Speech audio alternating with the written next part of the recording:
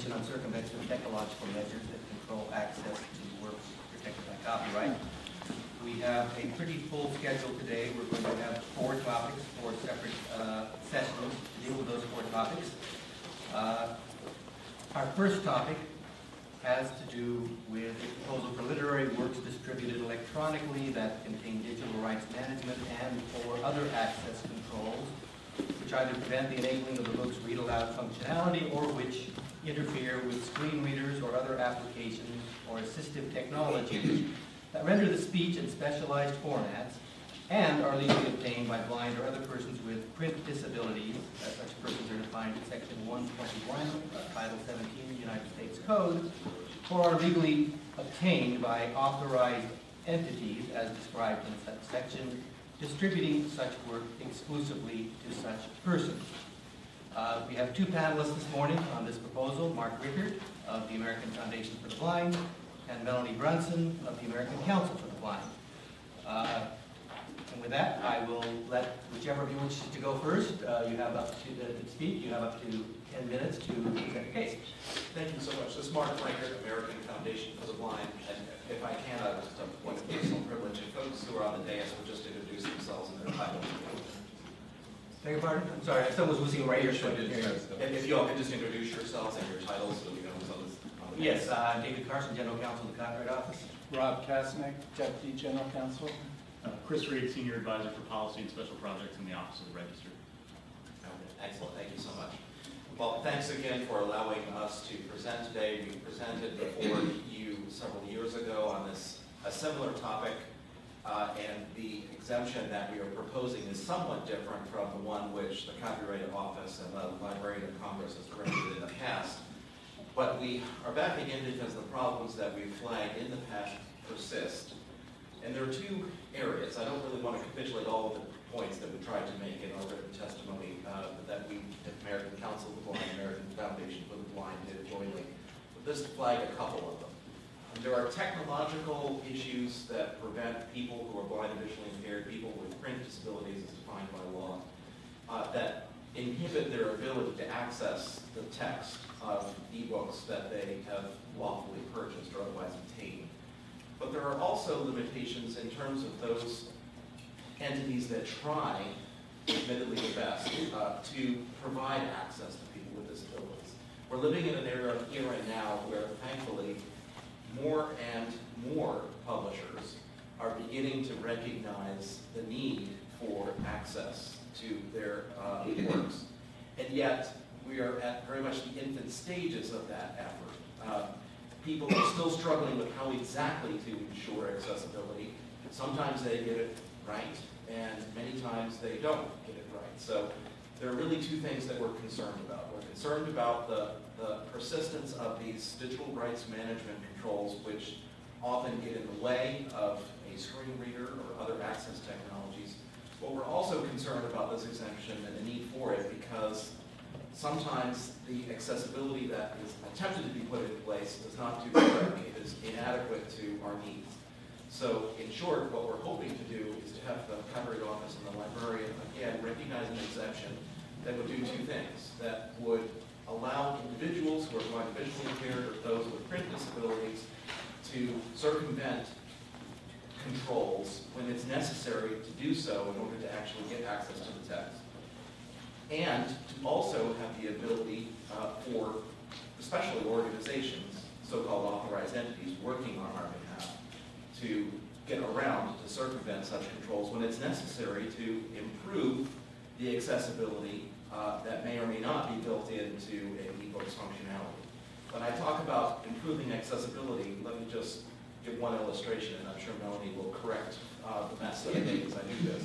But, you know, right now it seems as though people want to provide access by simply hitting a button that allows the book to read to you. It dumps speech basically into your lap or into your ear without much control over how that material is presented. And particularly in the education context, and uh, you know, I'll just put in a shameless plug for the following panel. We're going to be talking, among other things, about the applicability of all of this stuff in the education world. And I, I, I want to say that particularly if folks in higher ed, it's particularly necessary to really be able to interact interact in a robust fashion with the, uh, with, with, with ebooks. And simply to dump text out without any real sophisticated way to navigate through the text, to be able to search on keywords, et cetera, uh, maneuver around, those kinds of, of features are extremely important. Uh, So we don't see that kind of robust accessibility, and we want to make sure that when individuals, and particularly when organizations or authorized entities, uh, are improving accessibility for us, that the sometimes rather draconian provisions of the DMCA don't come crashing down to prevent that. That's my summary statement, and um, we look forward to, to the dialogue and any questions we may have. Ms. Brunson? Thank you. Um, Mr. Richert has um, described the concerns, the problem that we face um, pretty thoroughly. I don't have much to add at this point, um, except to um, expand upon the one aspect of, of controls that creates, I think it's fair to say, the, the, the largest headache for our community. I am a representative of a membership organization that is uh, representative, whose members are, um, come from all across the country, and in fact, we have um, several uh, members in foreign countries. The American Council of the Blind is um, the organization that I represent, and I think it's fair to say that one of the issues that arouses the most passion um, within our membership is the issues surrounding um, the ability to read books. And the one issue that I think causes the most consternation is the measures that, for whatever reason, disable the um, ability to access digital books by reading them out loud. Um, That has ramifications for our membership that people do not have, um, do not frankly uh, have nearly as much sympathy for as they do anti-piracy um, measures that are more directly um, related to simply preventing unauthorized use. And so there is, there is, um, there is a, a huge distinction in the minds of the average reader with a print disability when you talk about that particular issue as opposed to simply measures that are aimed at prohibiting piracy. We are here primarily because the digital book advent has the potential to level the playing field for our community in terms of access to education, in terms of access to employment, and in terms of our ability to participate in, frankly, um, the cultural and the community life of the society that we live in. However, we find ourselves, in spite of that potential, being frustrated by the measure of, uh, um, the number of measures that, once again, create obstacles for us simply because nobody at any any level of the process, well, I shouldn't say nobody, because as Mr. Richert indicated, publishers are beginning to look at access. But we have, um, still, in the vast majority of cases, um, whether it's because the players won't read out loud, or because the books have measures built into them that prohibit use with screen readers or read aloud functions on those limited number of players that do provide them. We have, once again, obstacles to our use of a technology that could very easily make it possible for us to be on a level playing field with people who do not possess the same print reading disabilities that we do. So what we're seeking is that degree of, of flexibility within the copyright law that would enable access to those works. Um, and, and we are, um, we are extremely interested in seeing that this happens. And I too am happy to, um, answer questions and, um, but that is the conclusion of my, my statement. Thank you very much. Um, Let me start. Um, In reading your proposal, one comment struck me, a couple struck me actually, but the one I want to point to right now is a comment where you said, "We want to be on the record that it is the experience of people who are blind and visually impaired that the shutting out of people with print disabilities from full and fair access is indeed a rampant problem, but this is not our burden of proof." What is your burden of proof in this proceeding? I think it's to, this Mark, I think it's to illustrate that this problem that we have brought before the Copyright Office persists. And I think we've done that in our remarks, especially our written testimony, flagging both the limitations of the accessibility that some groups are trying to build in, and also the persistence of the digital rights management controls uh, that are still blocking access. I think, as we've tried to say in our written statement, even one instance where that happens, and we know that it happens more than in one instance, uh, is a reason for uh, requiring a, an exemption to be put in place. Because we, it, it's not about it's ten percent, fifty percent of the market, it's about whether I, whoever I may be, uh, who have lawfully obtained a particular work, can get access to it. And if I can get access to it by getting around digital rights management controls, I should be able to do that without the civil or criminal penalties. The difficulty that you face is that you don't know Yeah.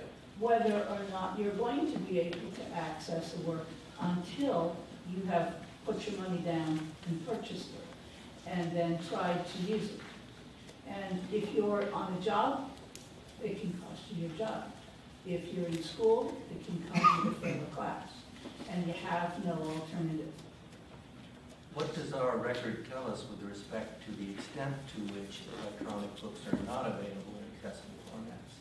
I think in previous proceedings, again, this Mark, uh, in previous proceedings, we have provided the Copyright Office with examples of controls, uh, of works where controls have either intentionally or inadvertently blocked access.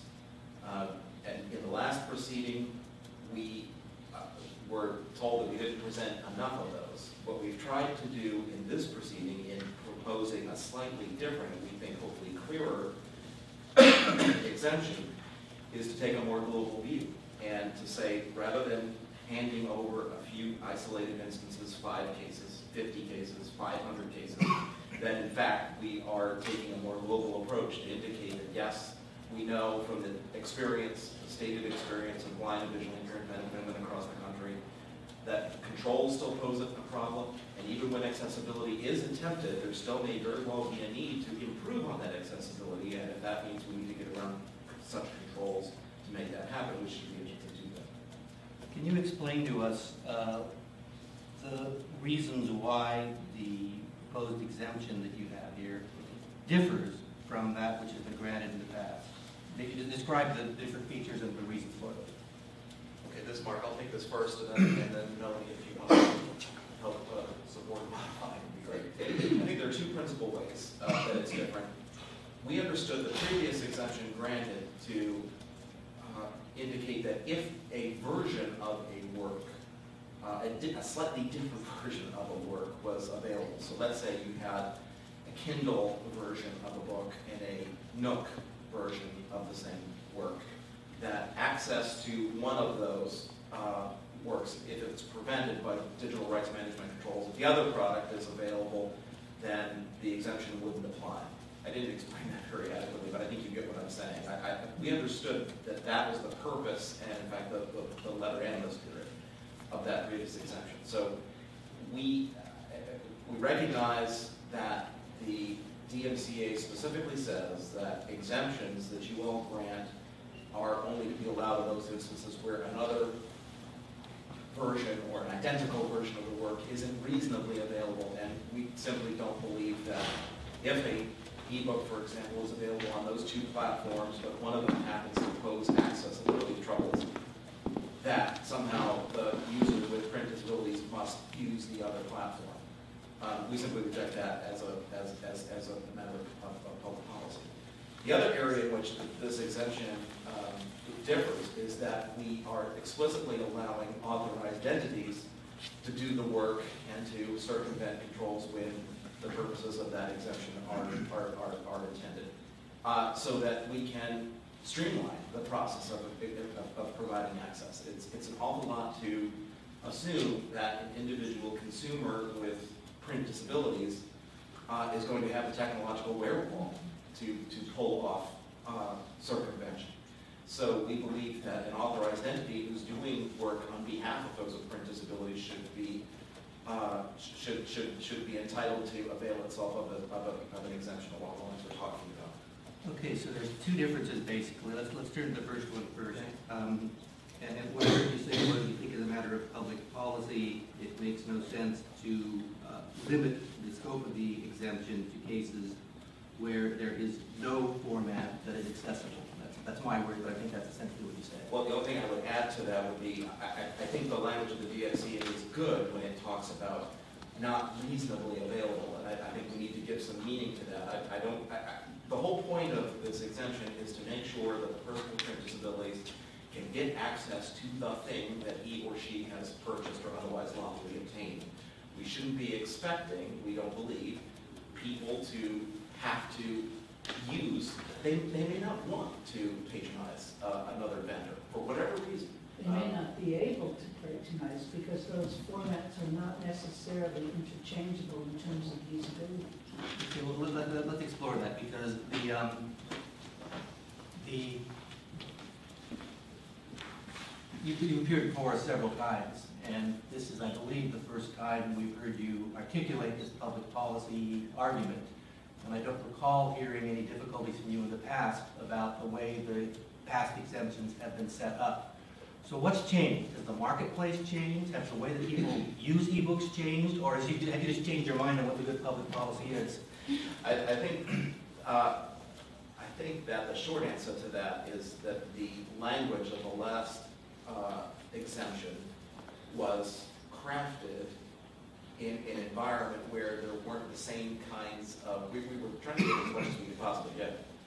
Uh, But I'm quite certain, because I think you and I had that exchange, the last thing on this public policy discussion. Um, If uh, yours truly wasn't as articulate then as it needed to be, then hopefully we can make up for lost time now. It most assuredly is not a change of mind, it's a, it's a question of trying to make sure we get it right. Um, Could you help us, I I want to kind of continue that point on, on the marketplace. Can you help us understand um, sort of the, the platforms that are out there? You- You mentioned the three major ones in your, your comments, the iBook store platform, the Kindle platform, uh, and the Nook platform. I understand Kindle, for example, you can actually read Kindle books on devices other than the Kindle itself. Um, What implications, if any, does that have for the accessibility of, of Kindle content? Well, I'll, I'll try to take a stab at this. Uh, Being a public policy nerd means that I don't get to know the innards of, uh, you know, technology as much as others in our organization do, but I'll take a stab at it. You know, a lot of folks who are blind or visually impaired, I'll just limit my comments to that, uh, are, are accessing Kindle content, obviously not on the Kindle, but using a PC that's specifically adapted for, for the, the purpose of trying to create access. That accessibility is, is not nearly as robust as it, as it needs be or could be. Uh, But what it shows is that a person with print disabilities then is required to be grounded uh, to a PC or otherwise load, wander around with a laptop or otherwise find some way. In other words, they're not able to use the, the, the content on an equal basis with others. Um, I, I don't know if that's your question, but I, I think, you know, the bottom line is we're in a era now where you, we have content that can be displayed on a variety of devices. We fear that even in such an environment, these copyright protections may block, in our experiences, that they continue to block access in a number of instances. Yeah, if I may just follow up on that, um, what we've part of the issue is the, the accessible, the, the book itself, and part of the issue is the extent of an individual's disability. Um, if someone has the ability to read large print, um, they have more options than, than someone, someone who has no ability to read, um, print off of a device's screen. And if one is limited to the accessing the book through um, a, a text-to-speech um, screen reader, then one has very limited options even with regard to the Kindle books. You can only use them on some Kindles. The, um, the PC app is, is really, as, as Mr. Richert indicated, um, the most usable. Um, But there again, you don't have the uh, access to the um, navigation features that a sighted user would have using that book on either the Kindle or the PC app, because the, um, the screen reader functionality is only limited to basic navigation, and you don't have the ability to do the searches and the flipping to particular pages and things that uh, the sighted user, not hampered by the aloud function, has access to. Um, Someone, there is also a Kindle application that is usable on iOS devices, but that, as I understand it, is not usable by someone who needs to read the book out loud. It is usable by someone who can use it um, to read uh, large print, but it is not usable by someone who needs to read it out loud. So um, there again, those are, those are, there are, that form of access to ebooks um, does have serious limitations, and all of the other um, functionalities have such, you know, they're not universally accessible. So if one were to make uh, the argument that, well, a Kindle book is usable, that would be, so we don't need to grant access to an iBook. Um, Then what you're simply saying is, um, so that means someone who can read it using large print would be able to use it, but someone who is blind may be stuck. How, much of that dynamic is a function of the device versus the book file content itself? It is my understanding that it is a combination of the Kindle app and the book itself. And is that true for other major platforms, uh, distribution platforms of of book content? Yes, I believe so. Because, for instance, um, iBooks that are created um, and sold in the iBook store, um, one can use with greater ease um, than one can, for instance, Kindle books, unless you're using a PC. And that's actually where I wanted to go next, because you, you've mentioned broadly two types of accessibility. One is navigation and, and uh, navigability uh, for those who are blind or visually impaired, and the other is the ability to enable the read aloud function. Uh, in your comments, you've mentioned that the iBooks are accessible, and I'm just wondering, does that mean it has, they have, uh, all, all books available through the iBook store have both of those accessibility features enabled? This Mark, it's probably an exaggeration to say that every book in the iBook store, I wouldn't want to make, I wouldn't want to swear to that. Uh, But their accessibility is generally, certainly, you know, the, the best of that which is out there. I, part of the challenge that we have is that not all people with disabilities are the same. And certainly someone who, for example, uh, may have significant learning disabilities that fall within the definition of print disabilities may require certain accommodations, if you want to use that term here, uh, to the content that, that might not otherwise be useful for, for other folks. So we know, for example, our colleagues in the autism world are struggling with, you know, how can we, for someone who has significant attention issues or otherwise needs to have uh, content adapted in a particular way, if we render that material or that content in a way that's most useful for them, And, and we, in order to do that, we need to get around copyright protections in order to produce essentially work that makes sense for them. Uh, you know, we need to be able to do that. Um, so I, I think to, to folks who are blind or visually impaired, I've only used personally, the iBooks, uh, stuff, to use the technical legal term, uh, myself, uh, you know, a, a, little bit. You know, I think their accessibility is, is, is, is generally pretty good. But I, I also wouldn't want to try, for example, to use in an iBook format a, you know, significant legal or scientific or other technical work that would require me to do a significant amount of navigation because that, those controls just simply don't exist there. And On the marketplace point, you know, we've seen some evidence that the marketplace is evolving um, rather rapidly in this regard. I think just today, actually, there was an article about Macmillan uh, dropping DRM on a number of its uh, science fiction titles and launching an ebook store to sell those directly. Um, What impact does that have, if any, on your need for this exemption? This is Mark, I'll start with that and, and uh, ask my colleague to finish it for Um, I, I think uh, it's an excellent sign. It, it, it shows, I think, that people are beginning to, to open up uh, to the realities of the marketplace. The fact that there's movement is, does not guarantee that a student over the course of the next three years, or an employee, uh, or someone frankly doing a, a, a government position, or in any context, it doesn't matter, we can hypothesize any of those situations, any of those scenarios,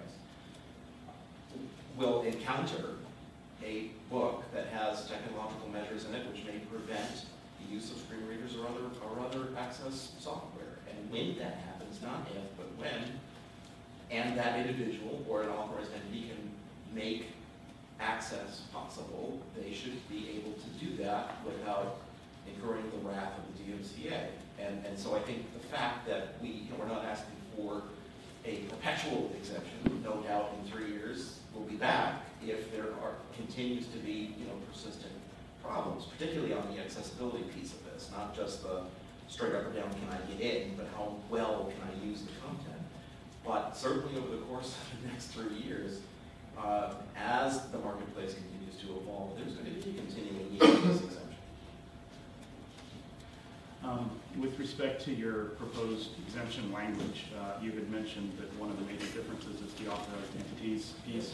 And I'm just wondering if, do you really need that to get to where you want to go? I mean, can, if you had an exemption that simply enabled uh, circumvention for the purpose of making accessible, uh, inaccessible content accessible, which is, you know, which requires an underlying use, assuming the underlying copyright use is, is authorized under section one twenty-one, um, do you need the exemption language to be written that specifically? This Mark, I'll, I'll start with it again. Um, Melanie's also uh, a lawyer, so she can uh, bail me out. Um, I, you know, I think it's, it's like anything else. If it's not written in black and white, there may be a question as to whether or not uh, it's, it's permissible. I, you know, over the course of the last, let's see, six, seven years with the advent of the so-called bookshare.org uh, effort, Benetech's bookshare.org service, which a number of blind visually impaired folks, particularly students, have really found useful. It's one of several, of course, in our field, but it's really quite a popular service. You know, I, I know that the publishing world has been particularly spooked by, okay, well, if Bookshare could do it, where does this end? Who's really entitled to produce materials in accessible format? It, it's not the sort of thing where I think people who are in the publishing and, and, you know, rights owners world, um, would be comfortable with unless we make it clear that, that we're not talking about anybody being able to do this, we're talking about individuals who qualify and their representatives who are defined, think, fairly strictly by law. So, I, you know, smarter lawyers, all of whom I'm sure are up on that dais, than yours truly at least, uh, may find that it's not necessary, if that proves to be the case, then that's fine. I, I think we're just concerned that it, it shouldn't just be up to an individual to try to figure out, particularly in the technological area, how, how to make it happen. That if there are folks with some sophistication who can help make access possible, they should have the ability. I think that for, you know, the, the sense that we've gotten in our discussions with publishers has been that they would feel better about individual, about authorized organizations doing it than individuals anyway. um, Because they would rely on the good faith of that authorized organization um, as, um, as being a a representative of someone who is in fact qualified and eligible to do it, as opposed to individuals. Certainly, you know, we, we, we have been proposing the idea that it should be allowable by either because it needs to be um, possible for someone who purchases a book um, directly from the marketplace. But it also is, is a, a fact in our community that for a lot of people, their first, um, the first place that they go for access to materials is an authorized entity. And therefore, they, um, they look to those entities to, to provide the, um, the expertise when there's an obstacle that needs to be overcome in order for them to get access. Okay, on the author identity issue, um, one thing that just occurred to me during the course of this discussion was, I think the language you proposed might change the situation significantly in the following respect. I- there may be a flaw in this, because it just occurred to me, but I'll think out loud. Uh, With respect to the exemptions that we have had up until now, I think it's the case that in order for someone to take advantage of this exemption, they would have to have obtained a lawfully made copy, which means either they bought it or maybe somebody gave it to them, assuming the first sale doctrine applies in that environment, which is a very question I'm not going to try to resolve today. Um, so at the very least, the publisher gets whatever the publisher's price is, and the person exercising the exemption gets the benefit of actually being able to read what they paid for. Not a bad deal for both sides, one might think. Looking at the language you proposed today, I think what it means is that that's not going to happen. Now, the reason I think that's what it means, but maybe I'm wrong, is that when you look at that second prong, what that will allow is it will allow authorized entities that obtain one legitimate copy to make as many copies as they like under section 121 and distribute them for free, meaning that that's money out of the pockets of the publisher. Now, maybe we don't care, maybe we do care. I imagine publishers care, but I just like to think through the ramifications of that and figure out if that's going to happen, should we be comfortable with it? And if we're not comfortable with it, should we try to build something in here that offers some protection for publishers in terms of their getting their piece of the action here? Ms. Mark, a very fair point. I think it certainly was not our intent to create a situation where publishers are not getting paid for what it is that they've done. We do feel, and this is admittedly an emotional issue, not so much a legal point or even a policy point, but we, we often get really frustrated with publishers who say, give me my chunk of change, even though I haven't bothered to do, to lift a finger to make sure that you can get access to my material. Um, so I think we need to balance those two sort of competing points. How to do that in that language, I mean, if there's a way to indicate that an authorized entity isn't just freely distributing multiple copies of the same thing, of the same work to a bunch of folks without providing an appropriate royalty, um, you know, purchasing the uh, you know, the, the, the work certainly makes some sense. I think we want to make sure that what what is being paid to the publisher is the, the, the fair price of that book in an inaccessible world, which is to say, if I need access in a way that they can't provide, I should not be paying, for example, for an a more expensive audiobook format, some more expensive large print format. What the publisher or rights owner should be compensated for is the price of the mainstream book available to the general public because that's the standard against which we would measure fairness. Um, I also want to add a caveat to this discussion, and that is that one of the reasons for proposing a situation that would allow multiple uses is, um, that if I am a person who doesn't have a disability, I can go to any public library and buy or borrow that book without any regard for whether or not the publisher is going to get, make any money off of my borrowing it as opposed to buying it. And so, um, I think what we also need to do is to be mindful of, um, the, the available, the right of people with disabilities to have the same opportunity, um, that a sighted person will have to do that. In the current marketplace, is there anything akin to library borrowing for uh, accessible ebooks? Um, Bookshare. Bookshare Bookshare does sort of lend them out, but not permanently. Well, actually, no, Bookshare doesn't lend them out, you're right. The Bookshare allows you to, to download them. Of course, there is the NLS, the National Library Services, um, download site, which allows you, um, there again, though, they don't require you to send it back. Um, Unlike the, the traditional borrowing of the cassettes and the braille volumes, which you do have to send back when you download them, you do have to, you don't have to return them. So again, just, just thinking out loud, So no, there really isn't. if you're going to accommodate something like those two practices, what you're really doing, for better or worse, is telling any person who qualifies under section one twenty-one to receive such works, is you're telling them, well, you're not going to have to pay because uh, there are ways for you to get them from authorized entities without paying a dime. Is that accurate?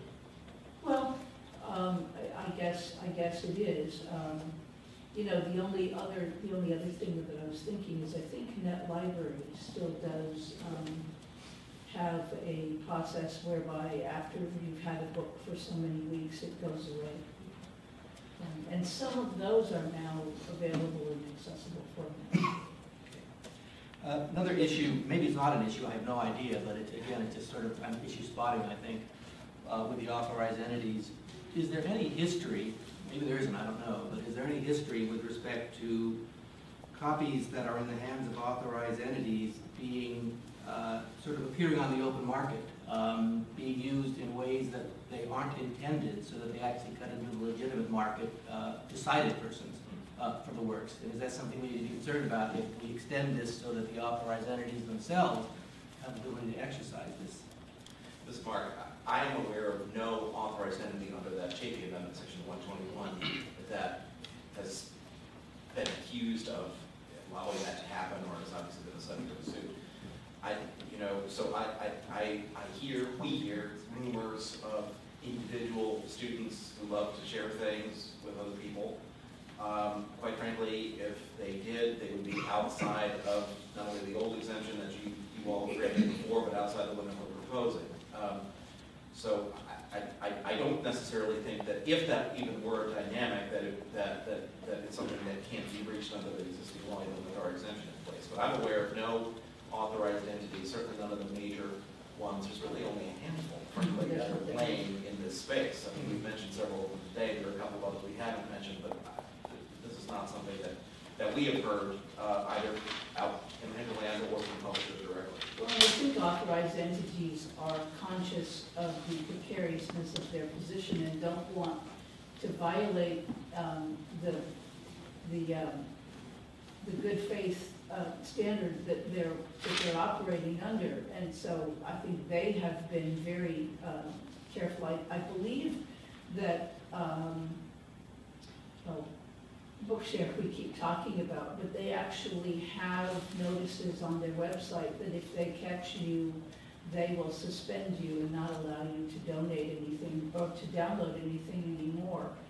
And um, they claim, although I'm not aware of the specific instances, that they have actually booted people out of the system and those folks are no longer eligible to, to come back and download books. So um, I'm not aware of any specific instances, but they have been um, very vocal about their willingness to protect the, the privilege that they have. Um, And I think that um, all of the, that the National Library Service has um, the same, the same uh, statements on their sites, and they, um, they will go after you if they catch you. I did hear from the National Library Service of an instance where a couple of years ago, somebody, I believe they said from the UK, got a book from someone in the US and advertised a copy of it on eBay. And they got, uh, they got tracked down and both ends of that transaction got, uh, got, uh, taken to task very quickly, and that book was not on eBay. And, um, so I think, I think it's fair to say that everybody, you know, in the community of users as well as in the authorized entity community is mindful of the rights holders' interests and the, um, the nature of, of the impact on them of what we're proposing, and nobody wants those, um, the, nobody wants anyone's interest to be abused. And so we're perfectly happy with, uh, with efforts to be as, um, as diligent in pursuing abuses as possible, um, because I think, um, that we, um, we are only talking, we're serious about only wanting authorized uses. Now, section one twenty-one, which is the section under which these authorized entities are operating, requires that the copies distributed under section twenty-one be in specialized formats exclusively for use by blind or other persons with disabilities. Is that a limitation that you intend to operate in the context of this exemption? Yes, yes, it is. They would have to, they would have to, they would have to, an authorized entity that's participating in the exemption that we're proposing would have to conform with section one twenty-one.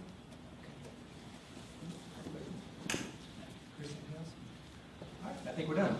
Well, thank you very much. Thank. Appreciate your time.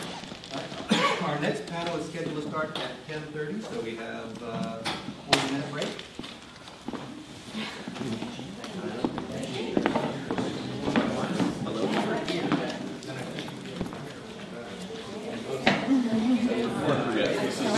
uh.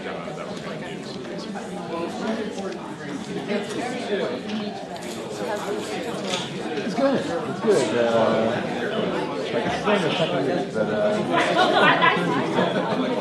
what's the summer like the ODC? Is it? Is it really? Welcome to DC.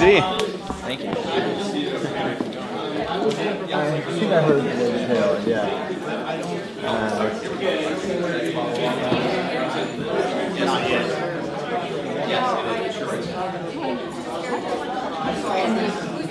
really? Oh, hey, how's it going? Good to see you. Get thrown right into the thick. Getting ready there, yeah. Right? So where are you? Uh, so public meeting. Uh,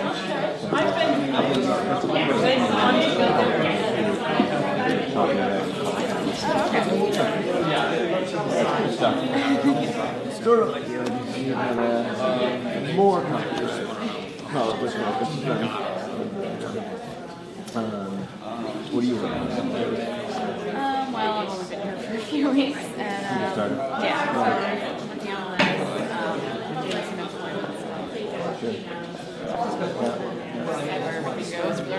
Yeah, no, that's, I think it's a good thing over here. like us. Uh, Yeah. We can Oh, really? Is it the, the, Oh, want to really? Did you or? Hell no. Okay. Uh,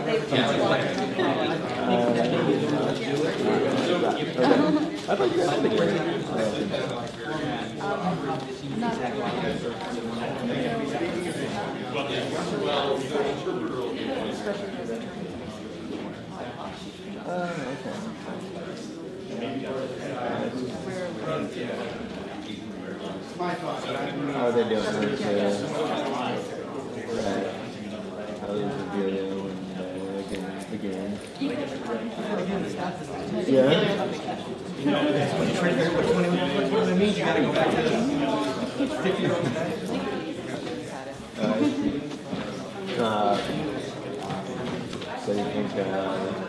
PK has any chance against uh, American? Couldn't. That's today. Yeah. Two thirty. Uh, yeah. They proposed uh, something that seems like hard to do, or is an exemption, but but uh, we're going to invent uh, CSS. Yeah, no, it was an interesting.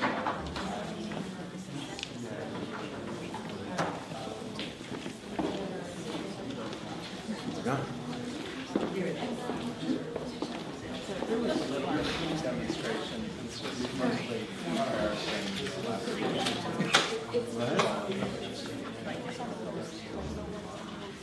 I don't think we're gonna put those in the list. I looked at the pictures that have to show any special concerns.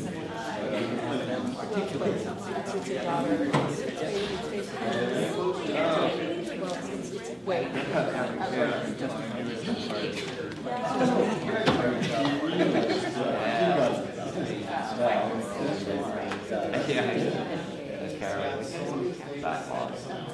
I think there's something to be said for joy of the effort.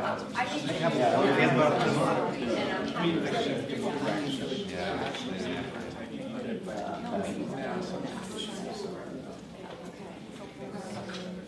And then, you know, I actually gave this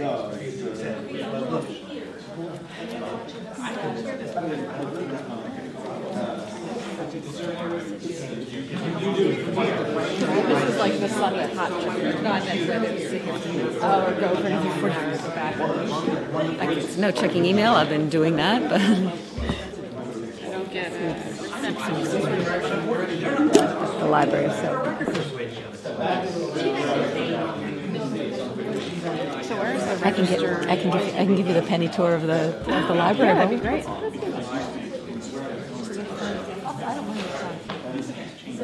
Swap, but it's just get it's dark here, it gets really hot.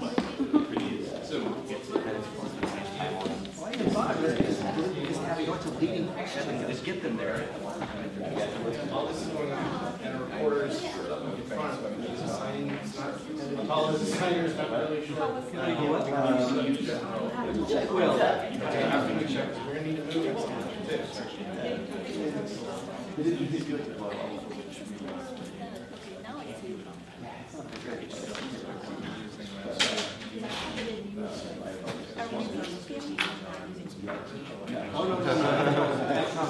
Treated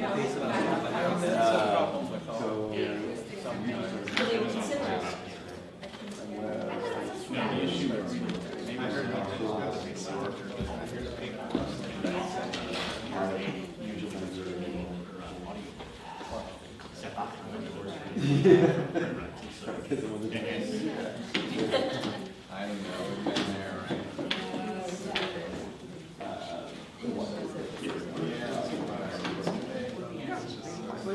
That's how one twenty-one works.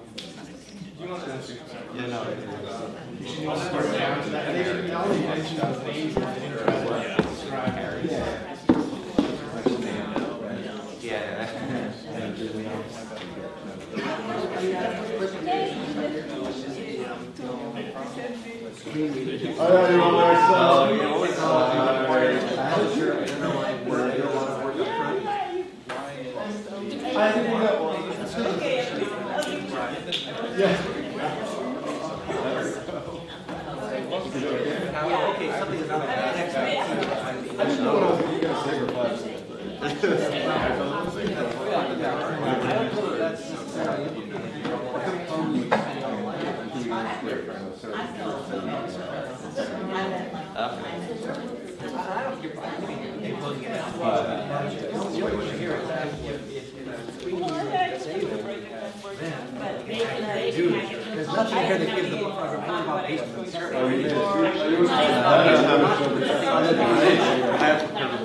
No, because you know you were in It's much more modest than you're talking about. Yeah, and I can imagine where certain work, that was that work go into that. and like, it. You're gonna delay the publication date, to uh, deal with that.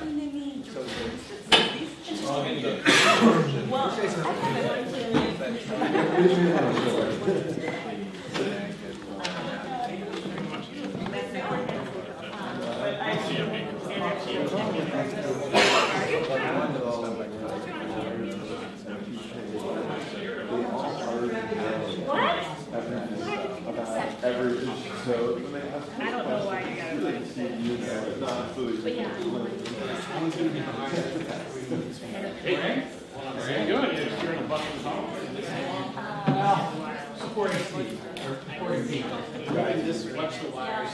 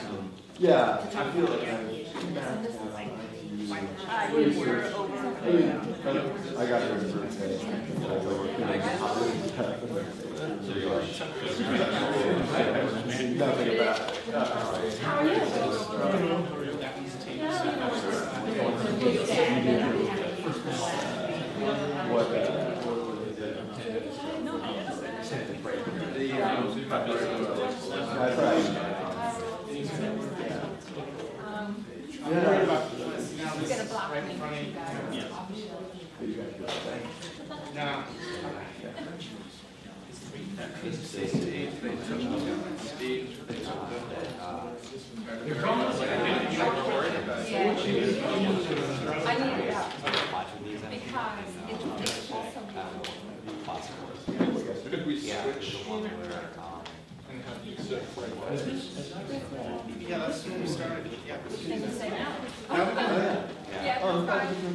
Yeah. Yeah. Yeah. Yeah, like, if we expand first year, it was like nineteen place students, eighty-five classes. Right. Um, and then kind of talk about the grades and stuff. Right. to be honest with you. Um, But, you know, yeah.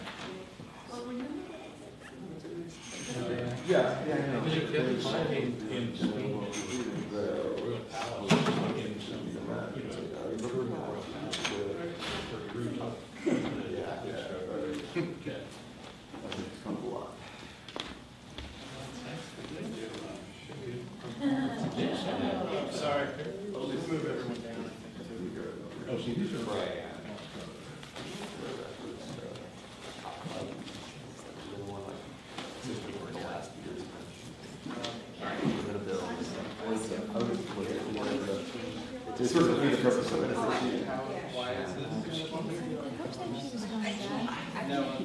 You know, uh, she just sort of slipped away.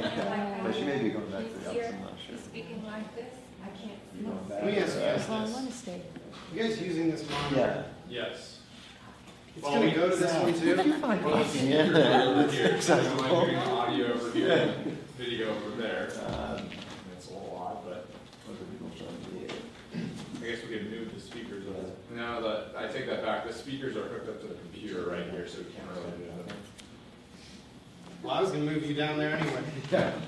I was gonna move all the witnesses to that end, and then have her, so she can get the reporting done. Uh, And that way the reporter's not between, um, the panel and the So witnesses. Yeah, I'm, I'm concerned, we're not getting, we need to get the record of this, we need to get the transcripts. And, um, it's a really bad room for this, but we have to do what we can to make it work. I mean, is this set up right here not, not? I don't think this is working at all to have a recorder right between, um, my own witnesses. I mean, I- That's why I wanted, like, right where this, right where the uh, signer is, I wanted to have you.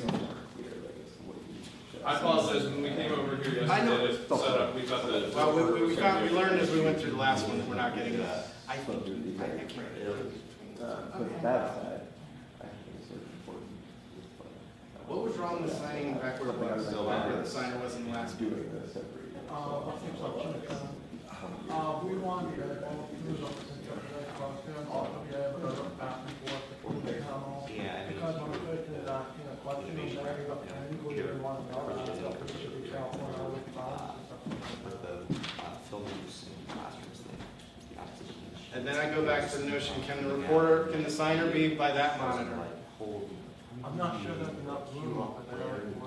Starts, like, I you can, show do you clips. want me to move? relative Can you move them, Rick? Having the exchange. I guess I can move Better. everything, I have to shut everything down Right. and then we move it back to the. What time is it? Zoom? I don't know. We're gonna have to Has reboot to be the, Market. unplug the TV. Oh, we're not talking about moving now anymore, we're talking about moving the force. Yeah, I, uh, I don't know what the answer is, but, We could do that in 20 20 I, I, at some point, I think. What's that? To speak up here, uh, the color post over there. Never mind, it's gonna be just fine, we're gonna the recorder. Do I have, oh, I just need that. Yes. I think this is good. How many do you need? I think it's more energy. Just need one. put into that. Yeah. Yeah, I don't know what the, uh, That's fine, you know, when, when I have. Yeah. yeah. I thought about it too. I don't know what the. I would Go wherever you want. I want to work on this. Let me know when you need help. Yes. They don't know how to. Your work, like, Yeah, that's what, I was yeah, inspired. was. Yeah. and that's what, I was talking about. Yes, a good question. Oh, yeah, no, I'm waiting for the, for the time to transition, yeah. Much better situation. But, uh, it's more focused and- rather than- Yeah. rather than think about it. It's gonna work. Cool, thank you guys, I apologize.